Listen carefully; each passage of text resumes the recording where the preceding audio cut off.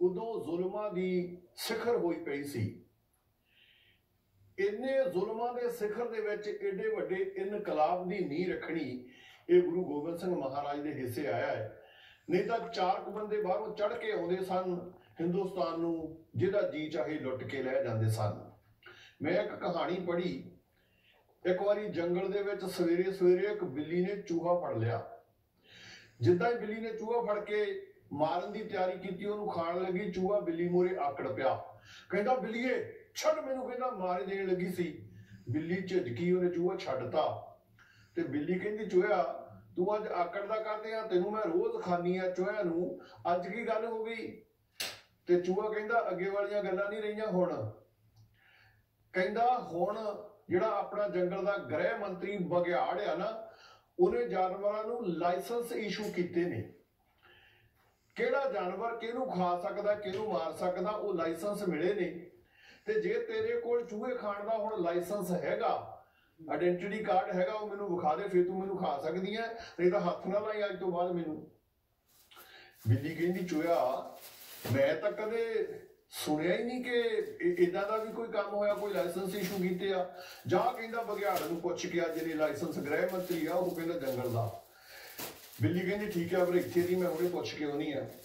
ਉਹ ਬਗਿਆੜ ਕੋਲ ਗਈ, ਕਹਿੰਦੀ, ਭਾਜੀ, ਕੋਈ ਲਾਇਸੈਂਸ ਇਸ਼ੂ ਕੀਤੇ ਆ? ਆਇਡੈਂਟੀ ਕਾਰਡ ਬਣਾਉਣੇ ਸ਼ੁਰੂ ਕੀਤੇ ਆ? ਜਾਨਵਰਾਂ ਦੇ ਵੀ ਕਿਹੜਾ, ਕਿਹਨੂੰ ਮਾਰ ਕੇ ਖਾ ਸਕਦਾ? ਬਗਿਆੜ ਕਹਿੰਦਾ, ਨਹੀਂ ਇਦਾਂ ਦੀ ਤਾਂ ਕੋਈ ਗੱਲ ਨਹੀਂ ਹੈ, ਕੋਈ ਲਾਇਸੈਂਸ ਨਹੀਂ ਬਣਾਏ।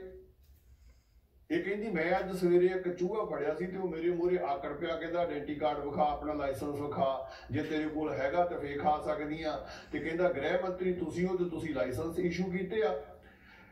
ਇਹ ਬਗਿਆੜ ਨੇ ਮੱਥੇ ਤੇ ਹੱਥ ਮਾਰਿਆ, ਕਹਿੰਦਾ ਬਿੱਲੀਏ, ਜੰਗਲ ਦੇ ਜਾਨਵਰਾਂ ਨੂੰ ਹੋ ਕੀ ਗਿਆ ਹੈ? ਕੱਲ ਮੈਂ ਕਹਿੰਦਾ ਇੱਕ ਗਧਾ ਫੜਿਆ ਸੀ, ਉਹਨੂੰ ਮਾਰਨ ਲੱਗਾ, ਉਹ ਮੇਰੇ ਮੂਹਰੇ ਆਕੜ ਪਿਆ ਕਹਿੰਦਾ ਆਪਣਾ ਆਇਡੈਂਟੀ ਕਾਰਡ ਵਿਖਾ। ਬਿੱਲੀ ਕਹਿੰਦੀ, ਭਾਜੀ ਵੀ ਤੁਸੀਂ ਕੀ ਕੀਤਾ ਸੀ? ਬਗਿਆੜ ਕਹਿੰਦਾ, ਬਿੱਲੀਏ, ਜਦੋਂ ਮੈਨੂੰ ਭੁੱਖ ਲੱਗੀ ਹੋਵੇ ਨਾ, ਮੈਂ ਫਿਰ ਲਾਇਸੈਂਸ ਨਹੀਂ ਵਿਖਾਉਂਦਾ ਕਿਸੇ ਨੂੰ, ਨਾ ਆਇਡੈਂਟੀ ਕਾਰਡ ਵਿਖਾਉਣਾ ਮੈਂ ਤਾਂ ਬਸ ਪਾੜ ਕੇ ਸੁੱਟ ਦਿੰਦਾ। ਇਹ ਜਿਹੜੇ ਇਸ ਵੇਲੇ ਜ਼ੁਲਮਾਂ ਦਾ ਰਾਜ ਸੀ ਨਾ, ਜਿਹੜੇ ਹਾਕਮ ਸੀ, ਇਹ ਬਿਨਾਂ ਦਸੰਸੋ ਜਿਹਨੂੰ ਮਰਜ਼ੀ ਮਾਰੀ ਜਾਂਦੇ ਸੀ, ਇਹਨਾਂ ਨੂੰ ਕੋਈ ਪੁੱਛਣ ਵਾਲਾ ਹੈ ਨਹੀਂ ਸੀ। ਤੇ ਗੁਰੂ ਗੋਬਿੰਦ ਸਿੰਘ ਮਹਾਰਾਜ ਨੇ ਸੋਚਿਆ, ਇਹਨਾਂ ਬਗਿਆੜਾਂ ਦੇ ਜਬੇ ਦੀਆਂ ਨੱਥਾ ਪਾਉਣ ਦੇ ਲਈ ਇੱਕ ਸ਼ੇਰਾਂ ਦੀ ਫੌਜ ਸਾਜਣੀ ਹੈ। ਖਾਲਸਾ ਪੰਥ ਦੀ ਸਿਰਜਣਾ ਕੀਤੀ, ਸਾਹਿਬ ਸ੍ਰੀ ਗੁਰੂ ਗੋਬਿੰਦ ਸਿੰਘ ਮਹਾਰਾਜ ਜੀ ਨੇ ਤੇ ਜਿਹੜੇ ਇਹ ਬਗਿਆੜ ਬਿਨਾਂ ਲਾਇਸੈਂਸੋਂ ਜਿਹਨੂੰ ਮਰਜ਼ੀ, ਜੋ ਮਰਜ਼ੀ ਸਜ਼ਾ ਦਿੰਦੇ ਸਨ, ਮਨਮਾਨੀਆਂ ਕਰਦੇ ਸਨ, ਉਹਨਾਂ ਦੇ ਉੱਤੇ ਇਹ ਸ਼ੇਰਾਂ ਦੀ ਫੌਜ ਨੇ ਫਿਰ ਜਬੇ ਦੀਆਂ ਨੱਥਾਂ ਪਾਈਆਂ, ਇਹਨਾਂ ਨੂੰ ਕਾਬੂ ਕੀਤਾ। ਆਓ ਗੁਰੂ ਦਸਮ ਪਾਤਸ਼ਾਹ ਮਹਾਰਾਜ ਦੇ ਇਸ ਖਾਲਸਾ ਪੰਥ ਅੱਗੇ ਸਿਰ ਝੁਕਾਉਨੇ ਆ ਤੇ ਵੇਖਦੇ ਆ ਇਹ ਖਾਲਸਾ ਪੰਥ ਗੁਰੂ ਗੋਬਿੰਦ ਸਿੰਘ ਮਹਾਰਾਜ ਜੀ ਦੀ ਕਿਹੋ ਜੀ ਫੌਜ ਹੈ। ਐਸਾ ਪੰਥ ਸਜਾ ਗਿਆ